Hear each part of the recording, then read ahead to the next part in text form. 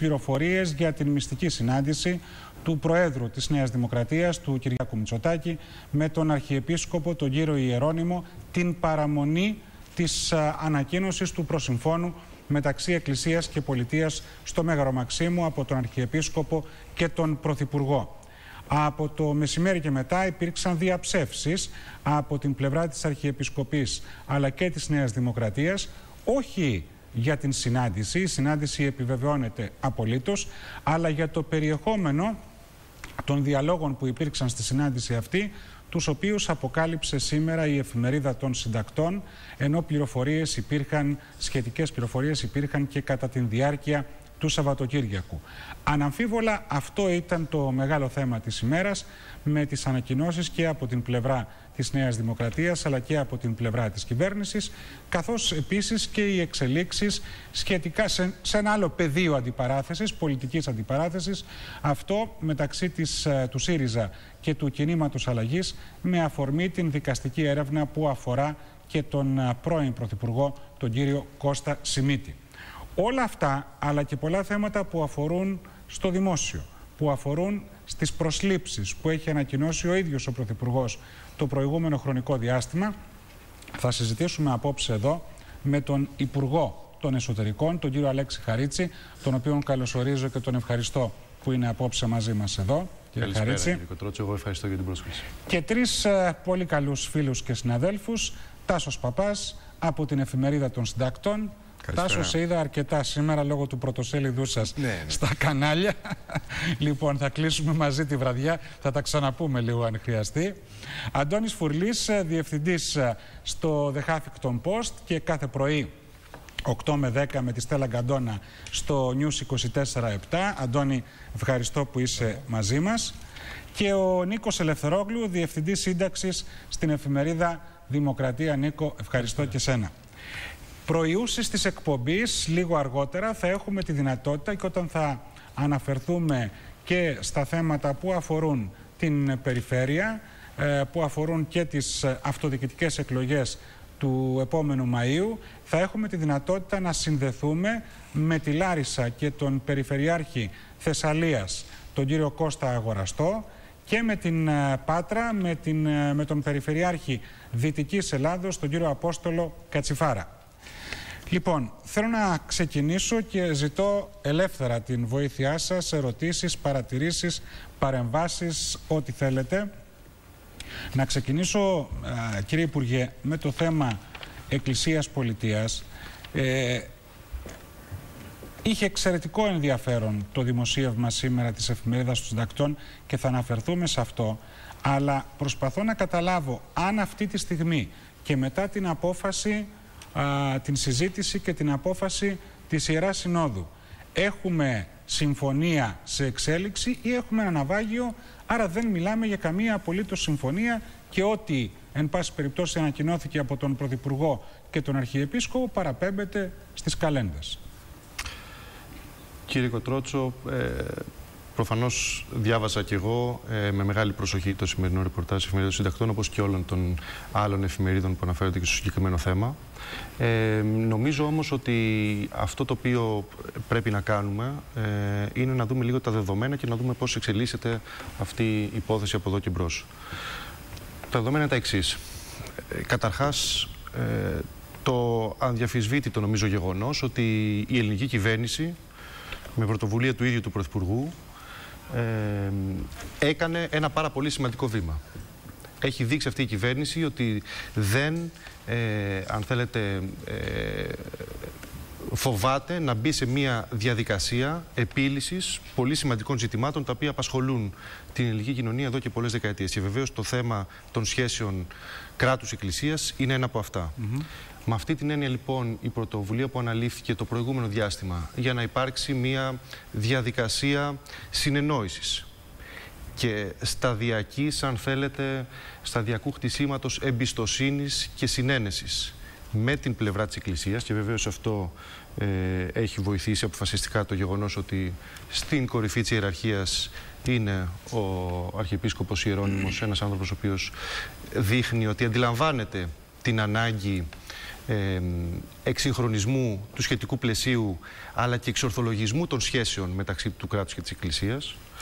Ε, οδήγησε λοιπόν όλη αυτή η διαδικασία στο γνωστό ανακοινωθέν της 6ης Νοεμβρίου ε, του Πρωθυπουργού με τον Αρχιεπίσκοπο. Ένα ανακοινωθέν το οποίο νομίζω ότι και αυτό θα αποδειχτεί στην πορεία, ανεξαρτήτως των όποιων εξελίξεων, θα αποδειχτεί ιστορικό. Θα αποδειχτεί ιστορικό γιατί για πρώτη φορά έχουμε το κράτος και την Εκκλησία να επιχειρούν με έναν τρόπο σαφή να καθορίσουν τα επόμενα βήματα για όλα τα ανοιχτά ζητήματα που απασχολούν τις δύο πλευρές. Είναι ακριβές ότι εσείς το παρακολουθήσατε σχεδόν από την πρώτη στιγμή ενώ την προσπάθεια αυτή ε, και ότι συμμετείχατε ακόμα και από το προηγούμενο υπουργικό ε, πόστο που είχατε ε, καθώς τα θέματα των προγραμμάτων ΕΣΠΑ και η οικονομική πλευρά αυτού του Ταμείου Αξιοποίηση Εκκλησιαστικής Περιουσίας ήταν μια δυναμική παράμετρος. Τα ζητήματα τα οποία έπρεπε να αντιμετωπιστούν ήταν, ήταν πάρα πολλά. Έχουν να κάνουν βεβαίως με τα θέματα τα οποία ε, συζητούνται και στο πλαίσιο της διαδικασίας συνταγματικής αναθεώρηση σε σχέση με το τι ορίζει λοιπόν ναι. το Σύνταγμα για τις σχέσεις κράτους-εκκλησίας. Έχουν να κάνουν βεβαίω βεβαίως με τα ζητήματα της ε, μισθοδοσίας των κληρικών, των κληρικών που τις τελευταίες μέρες για αυτά. Εντάξει, έχουν κυριαρχήσει και στην ε, σχετική δημόσια συζήτηση. Ε, έχουν να κάνουν και με τα ζητήματα της εκκλησιαστικής περιουσίας που είναι ένα ζήτημα το οποίο, ε, αν θέλετε, αποτελεί τροχοπέδι στην εξομάλυνση των σχέσεων μεταξύ της πολιτείας και του κράτους εδώ και πάρα πολλές δεκαετίες. Εκεί λοιπόν ξεκινήσαμε ε, μια συστηματική νομίζω δουλειά και ξέρετε η διαφορά σε σχέση με το παρελθόν γιατί εγώ δεν θέλω να είμαι και ε, ισοπεδωτικός δεν λέω ότι στο παρελθόν δεν ε, ξεκίνησαν αντίστοιχες πρωτοβουλίες Το 2013 λέει η Δημοκρατία επί Σαμαρά παλιότερα υπήρξαν κάποιες ε, σχετικές πρωτοβουλίες αλλά νομίζω ότι καμία δεν προχώρησε με το συστηματικό τρόπο αυτό της δουλειάς που έγινε ε, αυτό τον τελευταίο χρόνο.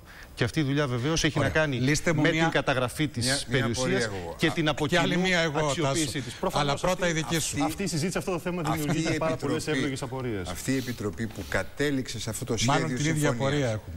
Πόσο καιρό υπάρχει; Ε.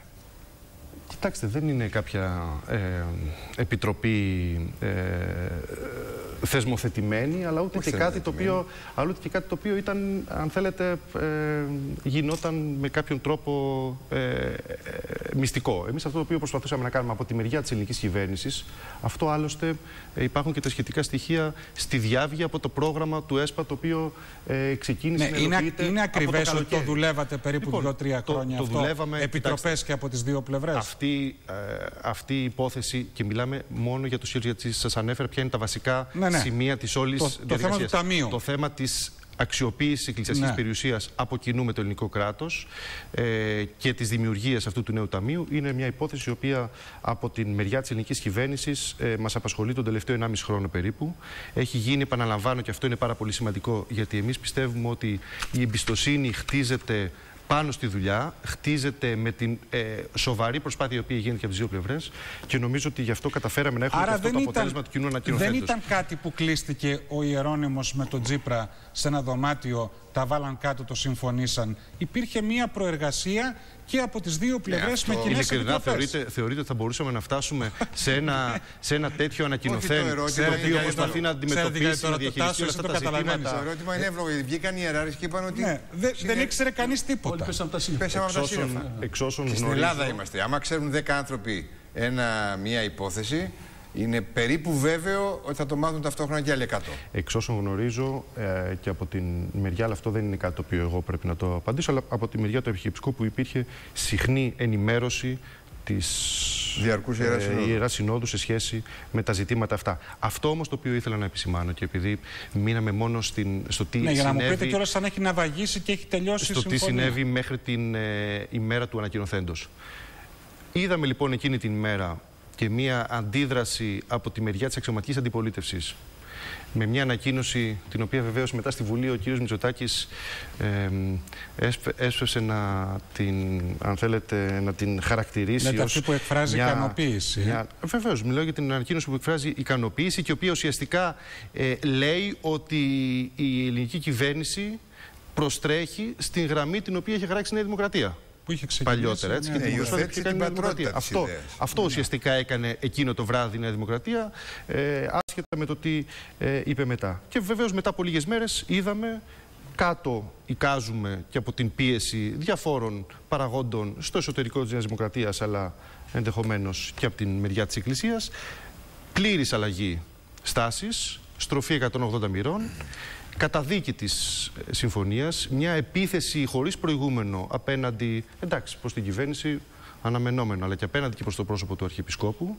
και βεβαίως μια προσπάθεια υποστήριξης με όρους όμως οι οποίοι δεν ανταποκρίνονται στην πραγματικότητα δυστυχώς των κληρικών, η οποία, επιτρέψτε μου να πω, ε, δημιουργεί και δύο στοιχεία που κατά τη γνώμη μου ε, εμφανίζουν πολύ μεγάλο βαθμό υποκρισίας. Το πρώτο προς την ίδια την Εκκλησία, πώς γίνεται αυτή η μεγάλη αλλαγή στάση από εκεί που το ίδιο το βράδυ της, ε, του ανακοινοθέντος υπήρχε ε, αν όχι ταύτιση, τουλάχιστον ικανοποίηση για το αποτέλεσμα. Θα σας δώσω εγώ την απάντηση απούσεις της Νέας Δημοκρατίας δυστυχώς από το πάνελ. Δυστυχώς, γιατί ότι... έχει ενδιαφέρον να κάνουμε αυτό το διάλογο. Βεβαίως, βεβαίως και το θέλω και μακάρι να επιστρέψουν τα στελέχη της Νέας Δημοκρατίας στη δημόσια τηλεόραση για να γίνεται αυτός ο διάλογος όπως γινόταν και πριν όταν ήταν εδώ με υπουργούς της κυβέρνησης. Λέει όμως η Νέα Δημοκρατία ότι η ικανοποίηση αφορά την έκφρα... η έκφραση ικανοποίησης αφορά το σκέλος σχετικά με το Ταμείο Αξιοποίησης Εκκλησιαστικής Περιουσίας.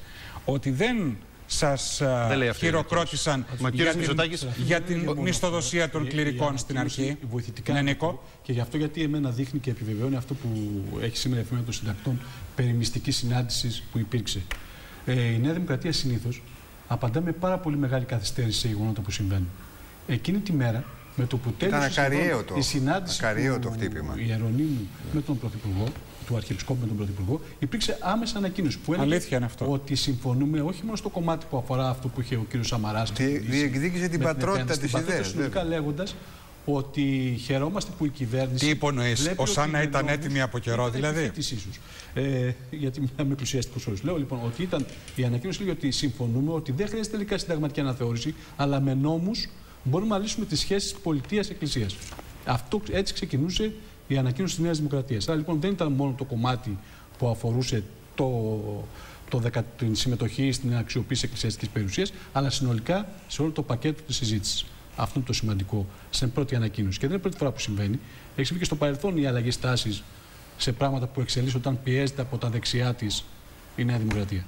Ναι, αλλά λοιπόν, είδαμε, επιτρέψτε μου να πω ναι. εδώ, ε, είδαμε τελικά τον κύριο Μητσοτάκη ε, να αποκηρύσει ο ίδιος τη δικιά του ανακοίνωση στη Βουλή, χαρακτηρίζοντάς την μάλιστα ηρωνική την ανακοίνωση που έβγαλε το κόμμα του λίγες μέρες μετά στη Βουλή, στη συζήτηση, συζήτηση που έγινε για την συνταγματική αναθεώρηση. Και επιτρέψτε μου εδώ για ένα τελευταίο σημείο. Γιατί είπα πριν και δεν πρόλαβα να το ολοκληρώσω ότι η υποκρισία αυτή έχει, αν θέλετε, δύο πλευρές. Η μία αφορά ακριβώς αυτή τη σχέση με την Εκκλησία. Επιτρέψτε μου όμως η δεύτερη αφορά το σύνολο της ελληνικής κοινωνίας. Και αφορά το σύνολο της ελληνικής κοινωνίας γιατί είδαμε για πρώτη φορά τον αρχηγό της αξιωματική αντιπολίτευσης, ο οποίος ένας υπουργός ήταν και υπουργός στο παρελθόν και γνωρίζουμε τα πεπραγμένα της θητείας του ως Υπουργού, αλλά και τώρα ως αρχηγός εξωματικής αντιπολίτευσης, πολλές φορές μιλάει για, το, για την ανάγκη μικρότερου κράτους, μιλάει για πλεονάζον προσωπικό. Έχουμε ακούσει, τον έχουμε ακούσει να μιλάει στα νοσοκομεία, τον έχουμε ανάγκη, ε, ακούσει να αναφέρεται στην ανάγκη ε, ενδεχομένως απολύσεων ε, πολλές φορές. Και τώρα ως εκθαύματος ναι, θα βρίσκει συγγνώμη, να υποστηρίξει τους 10.000 κλινικού. Είστε πολύ αυστηρός με τον κύριο Μητσοτάκη. Θεωρώ, θεωρώ ότι είναι υποκριτική αυτή η ναι, ναι, στάση. Του χρεώνεται υποκρισία και αναδίπλωση. Δεν είστε το ίδιο αυστηρός με τον ε, προκαθήμενο της Ελλαδικής Εκκλησίας, γιατί και εκεί έχουμε αναδίπλωση. Όταν ο κύριος Ιερώνυμος άκουγε τον κύριο Τσίπρα να διαβάζει το κοινό ανακοινωθέν, δεν εξέφρασε καμία αντίρρηση για καμία πτυχή. Ούτε για το περιουσιακό, ούτε για το μισθολογικό. Την, επό... την μεθεπόμενη μέρα πάει στην Ιερά Σύνοδο και σύμφωνα με την ανακοίνωση της Ιεράς Συνόδου. Λέει ομόφωνα όχι, άρα ψήφισε και αυτός όχι και οι Μητροπολίτες που συμμετείχαν στην Επιτροπή που επεξεργάστηκαν το σχέδιο. Εδώ δεν έχουμε αναδίπλωση. Κύριε Παπά, ε, εμένα με ενδιαφέρει η πολιτική αντιπαράθεση που έχουμε με την αξιωματική αντιπολίτευση. Το τι στάση θα κρατήσει η Εκκλησία ναι, είναι δικό της θέμα. Πολιτικά λειτουργεί και η Εκκλησία στο συγκεκριμένο θέμα. Επιτρέψτε μου να πω, Δεν είναι υπεράνω, για μένα είναι σημαντικό το ότι η απάντηση την οποία έδωσε και το γραφείο του Πρωθυπουργού αμέσως μετά την ανακοίνωση της ε, Ιεράς Συνόδου χαιρετίστηκε για τον ίδιο τον Αρχιεπίσκοπο. Άρα αυτό σημαίνει για να καταλήξουμε. επιτρέψτε μου λίγο. Στην, στην Επιτροπή Νέα Δημοκρατία Αλήθεια. Εγώ αυτή την απορία δεν θέλω να την αφήσω για το επόμενο μέρος, θέλω να την λύσω τώρα. Ναι. Πώς και δεν εκλήθησαν τα κόμματα στο διάλογο αυτόν επί 1,5 χρόνο; Κοιτάξτε, νομίζω ότι ε, αυτή η διαδικασία η οποία ε, ακολουθήθηκε και η οποία το επόμενο διάστημα βεβαίως για να έρθω και στο. Θα, θα απαντήσω στο ερώτημά σας, αλλά. Είναι αν με επιτρέπετε να το συνδέσω. το ερώτημα αν έχει να βαγίσει ή όχι συμφωνία. Ακριβώς. Να, ναι, το συνδέσω με αυτό το οποίο ναι, ναι, ρωτήσατε στην αρχή. Επειδή είναι μια διαδικασία σε εξέλιξη, προφανώς αυτή θα πάρει τη μορφή σχεδίου νόμου. Θα πάρει τη μορφή νομοσχεδίου. Και εκεί όλα τα κόμματα θα κληθούν να πάρουν θέση. Βεβαίως, όταν έχουμε μπροστά μας ένα συγκεκριμένο σχέδιο νόμου. Η διαδικασία η οποία προηγήθηκε ήταν μια διαδικασία μεταξύ των, ε, της, του θεσμικού ε, φορέα που εκπροσωπεί την ελληνική πολιτεία, που είναι η ελληνική κυβέρνηση, και της ε, ε, Εκκλησίας Ελλάδος. Από εκεί και πέρα, προφανώς θα συνεχιστεί αυτή η διαδικασία για το επόμενο διάστημα. Εμείς νομίζω ήταν απολύτως σαφές και στις ανακοινώσεις οποίες βγάλαμε άρα μετά το... από το αποτέλεσμα τη Ιερά Συνόδου. Άρα το προσύμφωνο λέτε ότι θα μετουσιωθεί σε, σε, νομοσχέδιο. Θα γίνει νομοσχέδιο. Θα γίνει νομοσχέδιο. Μισό λεπτό τώρα, γιατί ω έχει. Θα τεθεί. Αυτά τα ερωτήματα τώρα προκύπτουν. Ω έχει, αφού το απέρριψε. Το μισθολογικό Από τη στιγμή που απορρίφθηκε. Μην προτρέχουμε, κύριε Παπά, θα έλεγα. Α μην προτρέχουμε. Λέτε να έχουμε νέα απόφαση της Ιεράς Συνόδου που θα είναι σε διαφορετική κατεύθυνση από την προηγούμενη. Επειδή πλέον η σχετική συζήτηση και νομίζω ότι η ελληνική κυβέρνηση έχει αποδείξει ότι προσπαθεί ειδικά σε τέτοια τόσο ακαθόδη ζητήματα να δημιουργήσει συνενέσεις. Ε, περνάμε σε μια νέα φάση. Σε αυτή τη νέα φάση που πλέον η πρόταση θα πάρει και πιο συγκεκριμένο χαρακτήρα, με τη μορφή σχεδίου νόμου. Α περιμένουμε και ας δούμε, να δούμε πώς θα τοποθετηθούν όλοι πλέον απέναντι στο σχέδιο νόμου. Υπάρχει απόφαση της κυβέρνησης να νομοθετήσει. Δεν υπάρχει ναυάγιο. Υπάρχει ένα σχέδιο νόμου, αν καταλαβαίνω καλά. Η κυβέρνηση είναι αποφασισμένη να προχωρήσει. Μονομερός. Χτίζοντας όλες Ακόμα τις δυνατές, χτίζοντας όλες τις δυνατές συνενέσεις. Δεν θεωρούμε ότι μπορεί να είναι βιώσιμη μια λύση ενός τόσο ε, σύνθετου ζητήματος, το οποίο δεν κατάφερε ή δεν επεδίωξε η ελληνική πολιτεία να το λύσει εδώ και πολλές δεκαετίες, ε, εάν δεν καταφέρουμε να χτίσουμε τις Ωραία. αναγκαίες συνενέσεις. Πάμε τώρα στο επί της ουσίας, γιατί νομίζω, επειδή μας παρακολουθούν και πολλοί, έχουμε 8 ή 10.000 ε, κληρικούς. Είναι για την ακρίβεια 10.238 σεραφείμ. Ακόμα καλύτερα. 10.000 10.000 λοιπόν, όπως λέει ο Νίκος Λευθερόγλου, 238 κληρικοί. Και βεβαίως οι αρχιερείς, ε, οι οποίοι υπάγονται αυτή τη στιγμή στο δημόσιο. Και είναι αυτοί οι οποίοι από τους οποίους προκλήθηκαν οι μεγαλύτερες αντιδράσεις και αυτοί για τους οποίους δεν ελήφθη απόφαση υπέρ του προσυμφώνου έτσι τουλάχιστον ε, φάνηκε, στην, ε, στην Ιερά Σύνοδο. Ερώτημα. Οι κληρικοί θα παραμείνουν στο δημόσιο όπως ζητάει και επιμένει η Νέα Δημοκρατία ή θα προχωρήσετε στο πλαίσιο του νομοσχεδίου αυτού στο να περάσουν στο άλλο καθεστώς που ήδη έχει περιγράψει ο ίδιος ο Πρωθυπουργός. Να προσθέσω εδώ και νομίζω... μια σημερινή παρέμβαση του κ. Γαβρόγλου, νομίζω σήμερα, που είπε Χθεσινή, ότι νομίζω είναι. δεν ναι. αποκλείεται να λύσουμε συνταγματικά το θέμα. Σημερινή, σημερινή παρέμβαση. Σημερινή, ναι, σημερινή ωραία. Κοιτάξτε, ε, βασικό στοιχείο αυτής της ε, ανακοίνωσης, αυτού του ανακοινοθέντος, είναι ακριβώς και η, ε, το πέρασμα σε μια, ε, σε μια άλλη κατάσταση σε σχέση με το μισθολογικό των ε, κληρικών. Δηλαδή, η διαγραφή τους από την ενιαία αρχή πληρωμών ναι. και η πληρωμή του σχετικού ε, επιδόματος προς την Εκκλησία της Ελλάδος, βεβαίως για να καλυφθεί η μισθοδοσία όλων αυτών των. Τα 200 των, εκατομμύρια ετησίω. Τα 200 περίπου, 205 εκατομμύρια ναι. περίπου ε, ετησίως. Άρα, με αυτή την έννοια, αυτό αποτελεί προφανώς βασικό ε, συστατικό στοιχείο της ε, σχετικής ε, συμφωνίας και, και, και, του νομοσχεδίου. Έτσι. Και ποιος εγγυάται ότι οι κυβερνήσεις διαχρονικά θα είναι συνεπείς. Γιατί αυτό το θέμα βάζουν οι... Γι' αυτό ακριβώς μιλάμε για ένα σχέδιο νόμου και θα σας πω το εξής. Ε, εγώ νομίζω ότι η συζήτηση η οποία θα ακολουθήσει το επόμενο διάστημα ακριβώς θα πρέπει να επικεντρωθεί σε αυτές τις δικλείδες ασφαλείας οι οποίες πράγματι πρέπει ναι. να υπάρχουν. Για να διασκεδαστούν οι φόβοι και οι ανησυχίες. Να μην ναι. νιώθει κανένας καμία ανασφάλεια. Σε κάθε περίπτωση όμως, κοιτάξτε να δείτε όμως, ε, για να μιλάμε ξεκάθαρα και να μην ε, προσπαθούμε να εξοραίσουμε μια πραγματικότητα. Η ελληνική κυβέρνηση έχει ε, καθήκον να προχωρήσει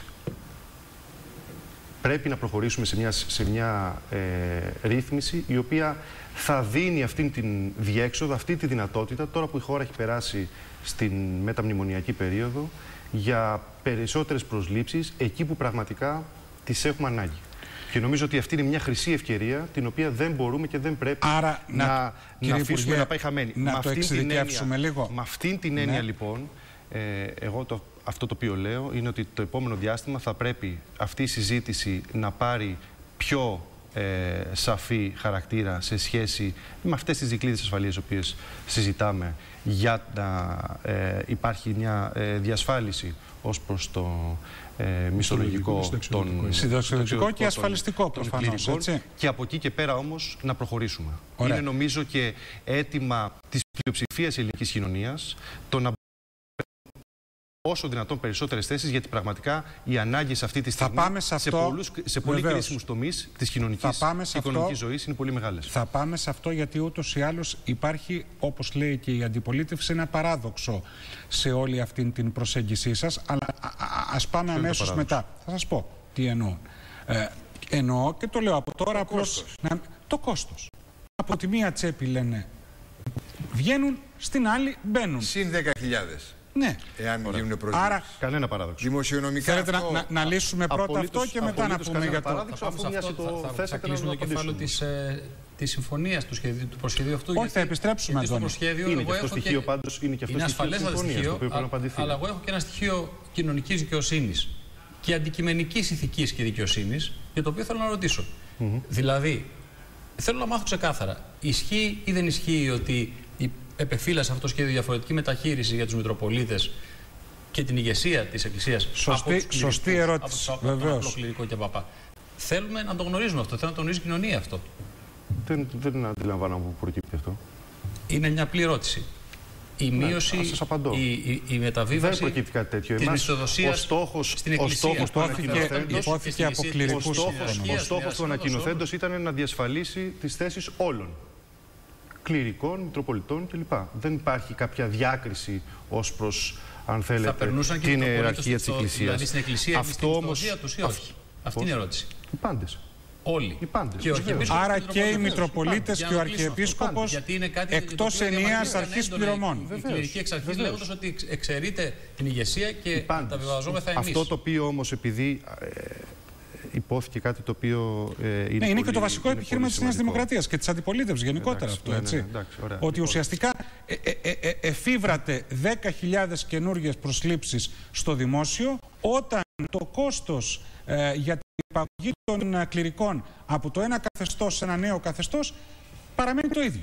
Ναι, μάλιστα η αξιωματική αντιπολίτευση της Δημοκρατίας είπε κιόλας ότι εφήβραμε αυτές τις 10.000 ε, θέσεις για να καλύψουμε συγγενείς και φίλους. Φαίνεται δεν έχουν ε, εικόνα, ακραίο, εικόνα των αναγκών που υπάρχουν αυτή τη στιγμή στα νοσοκομεία, λέει ότι στα πανεπιστήμια, δεν υπάρχουν ανάγκες, στα σχολεία, από 10.000 στην τοπική αυτοδιοίκηση, μια και είμαι και υπουργός εσωτερικών. Κρίνεται για το ήθος αλλά και για το ύφος του, επιτρέψτε μου να Αλλά να απαντήσω σε αυτό. Θα κάνω λίγο πιο διευρυμένο. Τι θα γίνει με τις εκκλησίες της παλιάς Ελλάδος και με το φανάρι.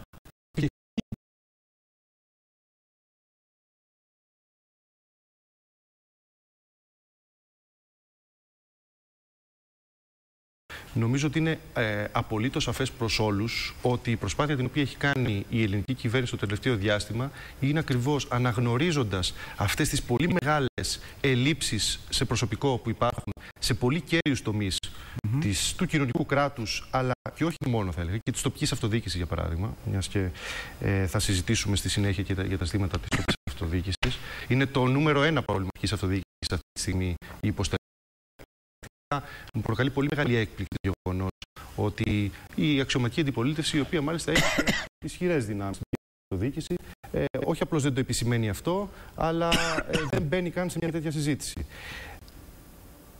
Έχει γίνει λοιπόν πολύ μεγάλη προσπάθεια και μια, ένα από τα μεγάλα, αν θέλετε, επιτεύγματα της τελευταίας φάσης διαπραγμάτευσης με τους θεσμούς πριν από την έξοδο από τα μνημόνια ήταν η επαναφορά του κανόνα 1 προς 1. από το 1 προς 5 φτάσαμε στο 1 προς 1 προσλήψεις αποχωρήσει από το δημόσιο. Ναι. Βεβαίως, ακούμε την αξιωματική αντιπολίτευση εδώ και τον κύριο Μητσοτάκη να μιλάει για επιστροφή στο 1 προς 5, το οποίο είναι μια συζήτηση την οποία, αν θέλετε, να την κάνουμε ε, ξεχωριστά. Θα την κάνουμε μείνουμε όμως στο συγκεκριμένο.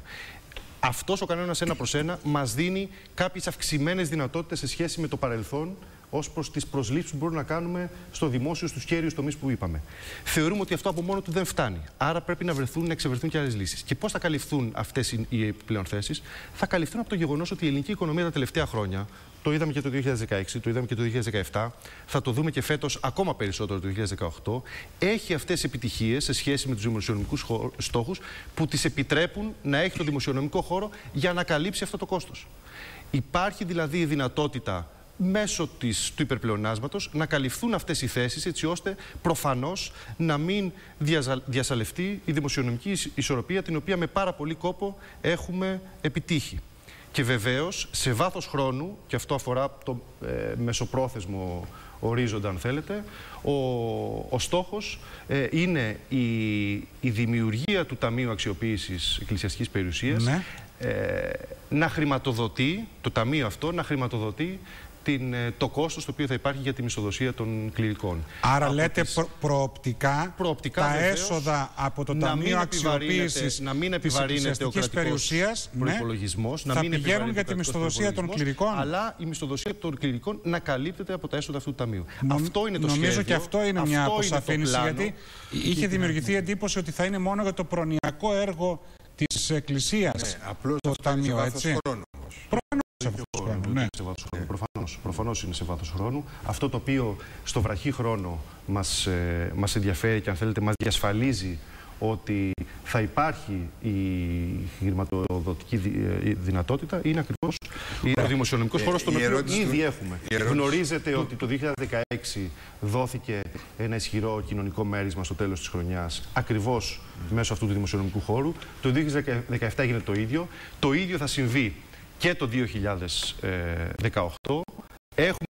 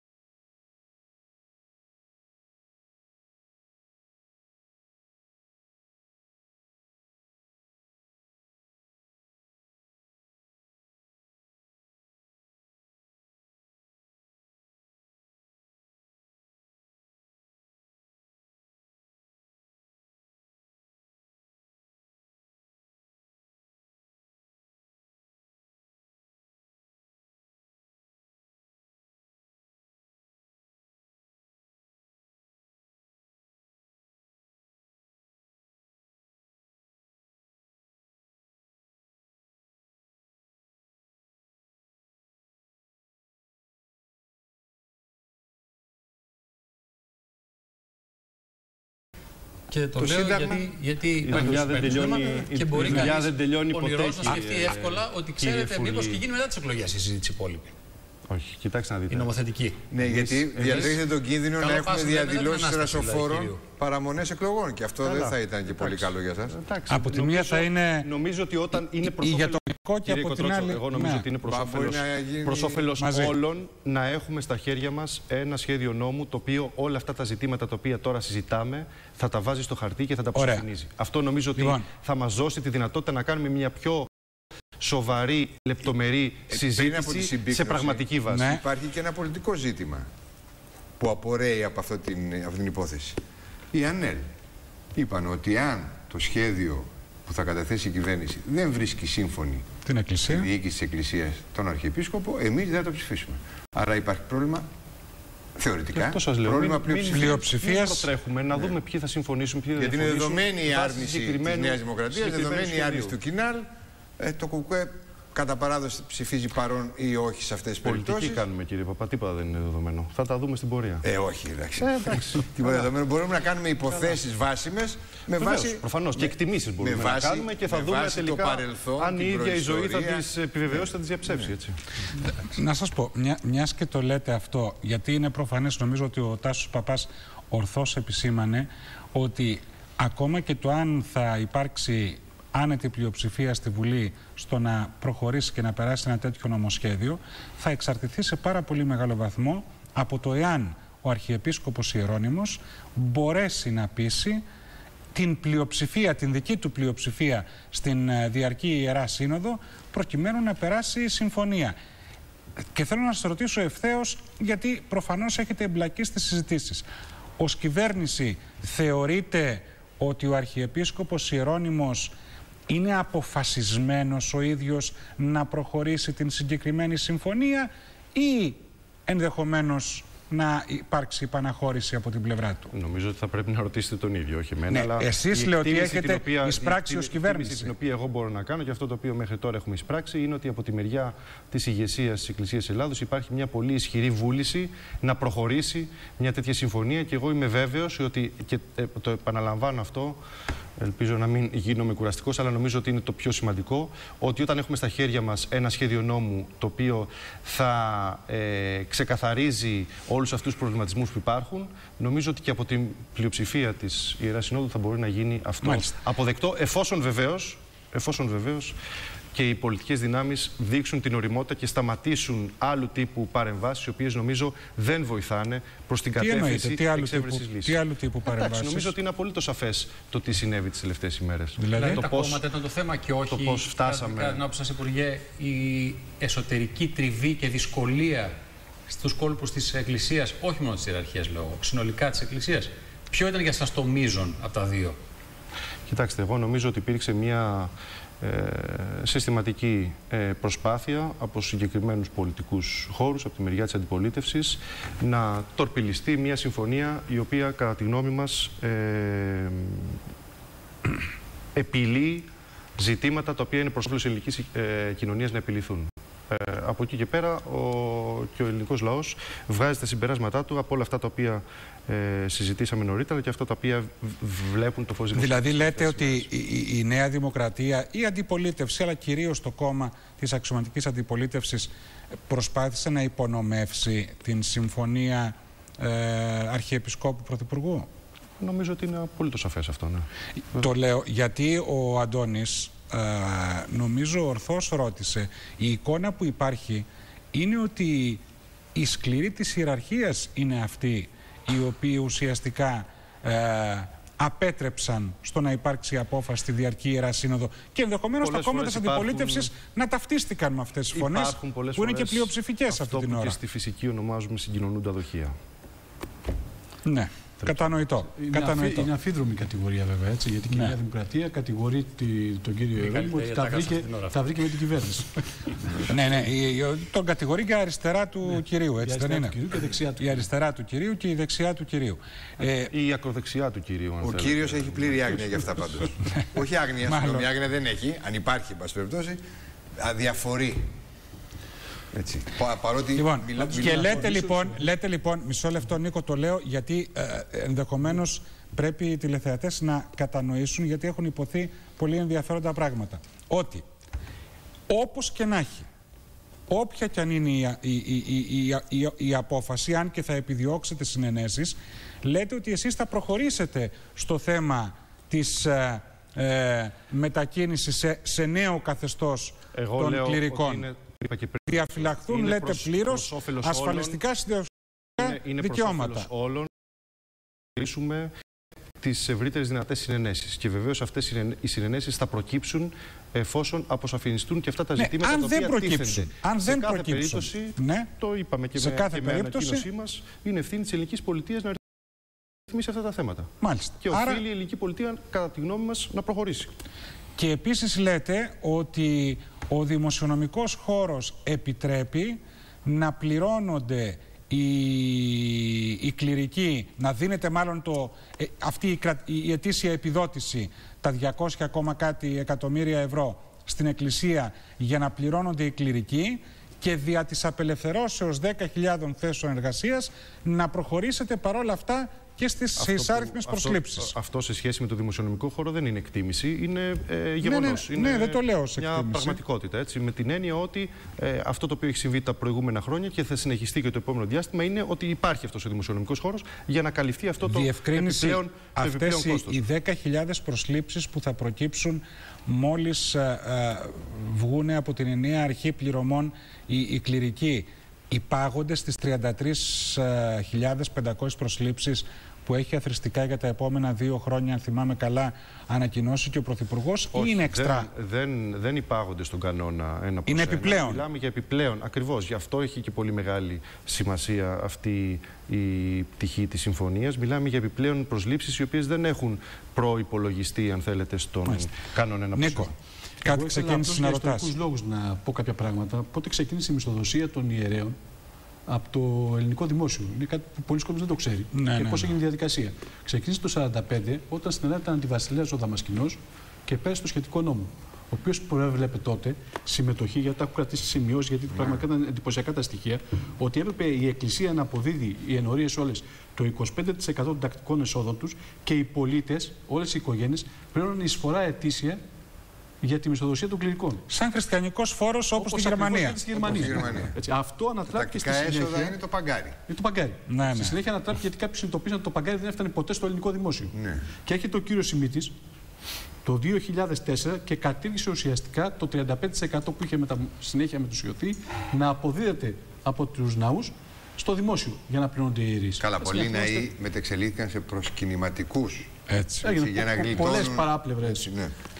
Με έσοδα εκατομμυρίων ναι. κάθε χρόνο. Έτσι. Είναι, Αλλά δήλωναν τίποτα. Να ρωτήσω αν ξέρει ο υπάρχει στους κληρικούς είναι αν το ποσό αυτών των το διαχειρίζονται αυτόνομα οι Μητροπόλεις ή θα είναι ονομαστικά κανονικά η μισθοδοσία τους. Γιατί φοβούνται οι ιερείς, σας το λέω πολύ ξεκάθαρα. Mm -hmm. Ότι θα πέσουν στην ομοιρία, εισαγωγικά από τη λέξη, ε, Μητροπολιτών, οι οποίοι θα τη μισθοδοσία κατά το δοκούν. Και τώρα σε ομοιρία είναι, μην καμιά θα πάλι. τώρα υπάρχει μια αρχή και θα απάντησε ο κ. Παπάς, νομίζω. Κοιτάξτε, ε, νομίζω ότι οι κληρικοί δεν πρέπει να ακούν φωνές ακραίες οι οποίες εξυπηρετούν άλλου ε, τύπου σκοπιμότητες.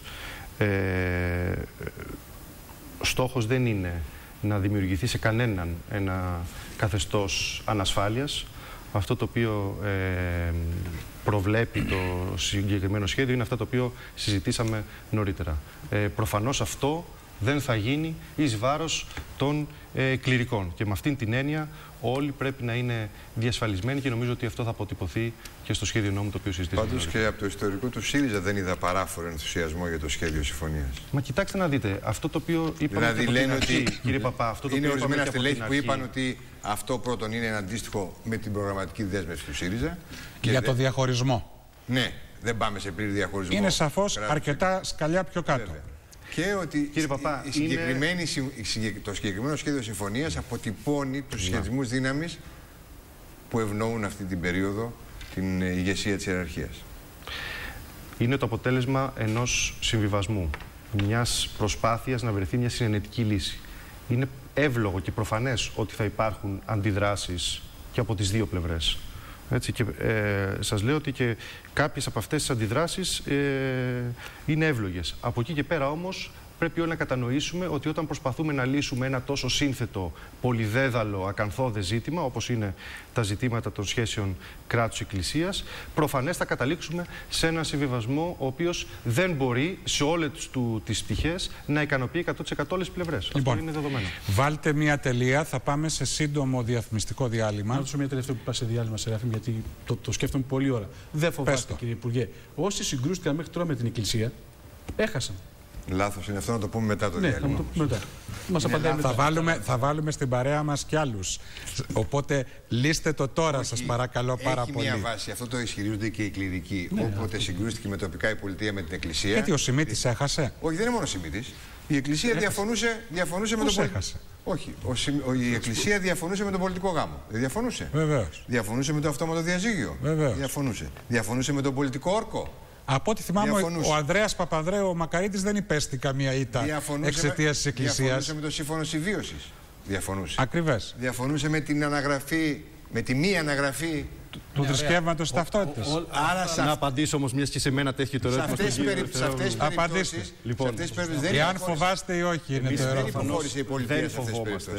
Ε, και δεν φοβόμαστε γιατί ακριβώς δεν προσερχόμαστε σε αυτήν την συζήτηση με διάθεση σύγκρουσης. Νομίζω ότι έχουμε δείξει το τελευταίο διάστημα ότι προσπαθούμε αντιθέτως να χτίσουμε συνενέσεις. Από εκεί και πέρα όμως, για να αντιστρέψω αν θέλετε και το, ε, και το ερώτημά σας ε, θα φοβόμουν πολύ περισσότερο κοινωνικές αντιδράσεις εφόσον δεν καταφέρουμε να λύσουμε τα πολύ καυτά προβλήματα που αντιμετωπίζει αυτή τη στιγμή η, το, το ελληνικό κράτος ως προς την στελέχωσή του σε πολύ κρίσιμες πτυχές του, της κοινωνικής ζωής όπως είναι τα σχολεία και τα νοσοκομεία. Άλλωστε, μιας και μιλάμε Νίκο για φόβο, ότι... ξέρεις πως τι λέει το τελετουργικό για τη Θεία Κοινωνία; Μεταφόβου, Θεού, πίστεως και αγάπη προσέλθετε. Διαφημίσεις και επιστρέφουμε.